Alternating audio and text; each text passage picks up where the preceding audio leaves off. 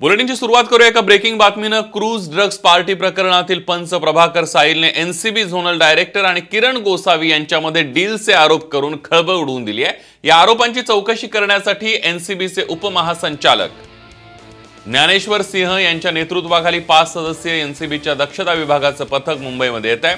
यावेळेला वानखेडे आणि प्रभाकर साहिल यांची समोरासमोर चौकशी करण्यात येणार असल्याची सूत्रांची माहिती आहे. या प्रकरणी एनसीबीने प्रभाकर साईलला चौकशीसाठी समन्स बजावलंय. त्याला दुपारी बारा वाजता चौकशीला हजर राहण्यासाठी समन्स बजावण्यात आलेला आहे.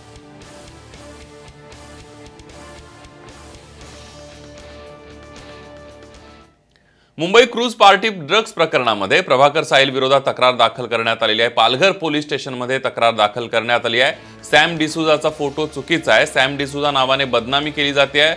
हनिक बाफना यांचा हा दावा आहे. प्रभाकरने बदनामी केल्याचा त्यांनी आरोप केलेला आहे.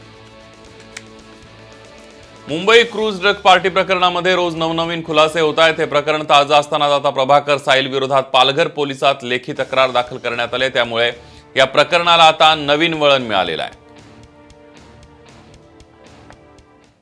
एक ॲप्लिकेशनमध्ये सर्व लिहून दिलं आहे की हा नंबर माझा आहे.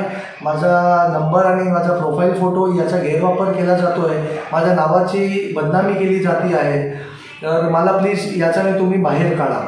असं आणि तुम्ही म्हणजे जे जे पण लोक आहे याच्या मागे तुम्ही त्याचा खुलासा करा. मी एक ॲप्लिकेशन दिलेलं आहे पोलीस स्टेशनला एस पी ऑफिसला